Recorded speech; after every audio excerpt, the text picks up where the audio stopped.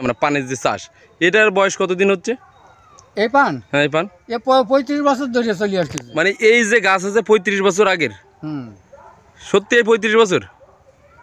আমার হারি না হারিয়ালার কাছে গেল কই পানের বরস কাকা বলল পঁয়ত্রিশ বছর ধরে এখানে লাগাইছে এটা কি শিওর হ্যাঁ এটা আমি আমার জন্মের আগের থেকে দেখতেছি এই বরস ইউকিপিডিয়ার মতে, পান পৃথিবীতে তিন হাজার পাঁচশো বছর আগে থেকে মানুষ সিবিয়ে থাকেন। রাজা বাদশাহ থেকে শুরু করে কৃষক, শ্রমিক, এমনকি যুবক, যুবতীরাও পান খেয়ে থাকেন। কেউ শখে, কেউ বা অনুষ্ঠানে, আবার কেউ নিয়মিত ঠোঁট ও জিব্বাকে লাল করার জন্য পান খেয়ে থাকেন।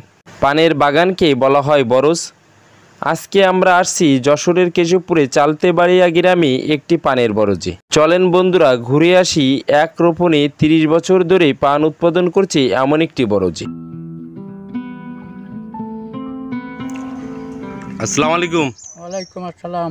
কাকা কেমন আছেন? ভালো আছি। কাকার নামটা কি যেন? মোহাম্মদ আনসার আলী গাজী। কত শতাংশ জমিতে এই পানের বরজ করছেন? এ বিয়াল্লিশ শতক। বিয়াল্লিশ শতকে? বিয়াল্লিশ শতক। এই একটা নাকি এখানে বিয়াল্লিশ শতক আছে? বিয়াল্লিশ শতক আছে। এটা এই পানের কতদিন আগে লাগাইছেন এই পানের এ বড়দের বয়স বহুত। পঁয়ত্রিশ পঁয়ত্রিশ বছর মতো।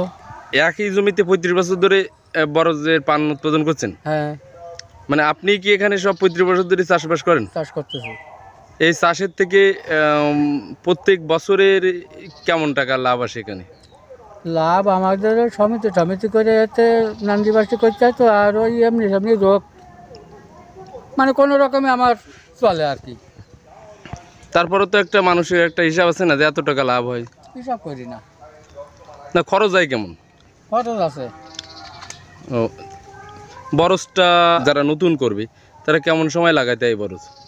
ও চৈত মাসে বৈশাখ মাসে মাটি কাটিয়ে মেরি বাঁধতে বড় তো সাজাইয়ে ছাউনি করে মেরি করে পিল করে তো তৈরি করে থুয়ে দিই আষাঢ় মাসে বড় লাগাইতে হবে। আষাঢ় মাসে লাগাইতে হবে? হ্যাঁ। এর আগেও লাগালি হবে। এই লাগানো থেকে কত মাস পরে এই এসে পান শুরু হয়?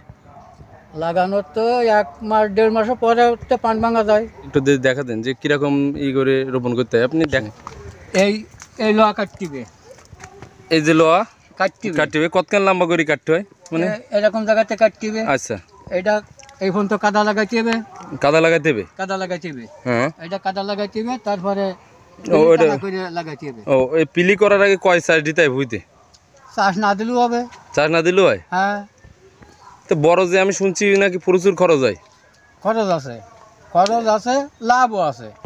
তা আপনার বিয়াল্লিশ শতাংশ জমিতে আপনি বলতে চাচ্ছেন না যে কতটুকুন লাভ হয় কি হিসাব হয়? না এখান থেকে হারি হারি দিতে হয় তো। ও হারি কত টাকা দিতে হয় বছরে? এ পনেরো হাজার দিতে হয়। ও মানে এই পনেরো হাজার হারি দিতে আবার এই কাজ কাম করার জন্য তো আবার বললেন যে সমিতির থেকে টাকা তোলা। সব মিলে আসলে লাভটা কোনো রকমে আমার ওই সংসার- সংসার চলে ভালো। হ্যাঁ সংসার চলে ভালো তাই তো? হ্যাঁ। আর এখন বয়স হয়ে গেছে তো মেলা এখন একটু নর্মাল হয়ে গেছে। এই যে ফসলটা দেখতেছি আমরা পানের যে চাষ এটার বয়স কতদিন হচ্ছে? এই পান? হ্যাঁ এই পান। এ পঁয়ত্রিশ বছর ধরে চলে আসতেছে। মানে এই যে গাছ আছে পঁয়ত্রিশ বছর আগের? হুম। সত্যি এই পঁয়ত্রিশ বছর? আমার হারি না হারিয়ালার কাছে গেলেও কই দেবে না। তা প্রতি বছর হারিতে কত টাকা দিতে হবে আপনার? পনেরো হাজার। পনেরো হাজার দিতে হয়। দর্শক দেখতে পাচ্ছেন যে এখানে যে চাচা পান লাগাইছেন মোহাম্মদ আনসার আলী গাজী চালতে বাড়িয়ায় এখানে যে বিয়াল্লিশ শতাংশ জমিতে যে পান চাষ করছে ইনি পঁয়ত্রিশ বছর ধরে একই এক রোপণেই তো চলতেছে কাকা এখানে। এক রোপণেই ইনি এই পান চাষ করে যাচ্ছেন যেটা হচ্ছে পঁয়ত্রিশ বছরে এখনও ভাঙা লাগেনি। তার মধ্যে একটু কি পরিচর্যা তো করতে হয় কাকা? কী কী কাজ করা লাগে? এই পঁয়ত্রিশ বছর ধরে একবার রোপণ করে রাখছেন আর কী কাজ করা লাগে এখানে? এতে বান্দার সময় হলে বানতে হবে খোল দিতে হবে সার দিতে হবে স্প্রে করতে হবে। খোল আর সার কতদিন পর পর দিতে হয়? ওর কোনো নিয়ম নেই। বান্দার আগে খোল দেওয়া দিতে হবে। বান্দার পরে খোল দেওয়াও যাবে সারও দেওয়া যাবে। কীভাবে বাঁধেন কী বাঁধেন এখানে? এই লতা নাম্বাই গেলে ছাউ করে বানতে হবে গুরুই পেঁচ দিয়ে। ও এখনও তো আর যে বললেন পঁয়ত্রিশ বছর ধরে যে চালাচ্ছেন এখানে তো দেখছি একদম নক নক করছে নতুন একদম ডোগা। যা দেখা যাচ্ছে নতুন ডোগা একদম। তাই এখানে আর যে বছরের শেষে কি কাজ করতে হয় এখানে? বছর শেষে কাজ নামাইয়া বান্ধে আবার এরকম ঠেলি উঠবে তারপরে কার্তিক মাস আসলে আবার বড় ছাতি হবে। এই আবার বাদুরিয়া পাট সামনে বানতে হবে। ও এ কাটি কাটি দিতে হয়? না। এ কি পঁয়ত্রিশ বছর ধরে কোনো কিছু কাটা নেই এখান থেকে? না। এগুলা সব কোন যায় নিচে? নিচে নিচে পচে যায় বেশি ফেলতে হয়। ও বাজি ফেলা লাগে? অনেক লতা পচে যায় বাইরে বেশি ফেলাতে হয়। তা সব মিলি কি বলা যায় কাকা যদি কোনো বাংলাদেশে যখন পানির দাম হয় তখন এখান থেকে আসলে পানি চাষে লাভজনক বলে মনে হয় না? লাভ আছে ভালোই লাভ আছে। আমি তো এই বড় যাত্রে প্রায় তিন লক্ষ টাকা ঋণ শোধ করে উঠলাম। তিন লক্ষ টাকার? এটা কি এই বছরেই না আজ ধরো ছয় সাত বছরের ভিতরে ছেলে মারা গেল দোকান ছিল। স্টক করে ছেলে মারা গেল টাকা দিলে না মানুষই। না দেওয়ার পরে তো সেই মালিক মহাজনের ঋণ দায়িক সব সদয় উঠছিল আমার। ও। আরও কতদিন চলবে না এই পানের ব্যবস্থা? এ করা যাবে না। ওই কথা কওয়া যাবে না। তার কারণ এ মরতেও সময় লাগবে না। কিন্তু আপনার তো পঁয়ত্রিশ বছর ধরে যখন চলতেছে এই পানের ব্যবস্থা তখন তো আশা করা যায় এখনও চলতে পারে। আপনি কতটুকু আশা আশাবাদী যে এখান থেকে হতে পারে? এখন এর কোনো গ্যারান্টি নেই। আচ্ছা কাকা আর কেমন জমিতে পান চাষ করলে সবচেয়ে ভালো হয়? কি? উঁচু জমিতে। পানি বাঁধবে না পানি সরবে সেরকম জায়গা। আপনার এখান থেকে পানি সরে যায়? হ্যাঁ। এটা উঁচু এটা উঁচু জায়গা। এবং এ- আপনারা তো চালতে বাড়ির ভিতরে চালতে বাড়িটা তো উঁচু জায়গা। পানি বাঁধলে বড় যাবে না। লাভ হসে কিন্তু এতে আবার সেচ দেওয়া লাগবে। কা- কতদিন পর পর পানি না হলে সেচ দিতে হয়? এ কার্তিক মাসের থেকে ফাল্গুন চৈত বৈশাখ মাস পর্যন্ত ধরো দু একদিন মাস মাসের মধ্যে এক আধ দিন দিতে হবে। সেচ দিতে হবে? হ্যাঁ। ভাই আপনার নামটা কি ভাই?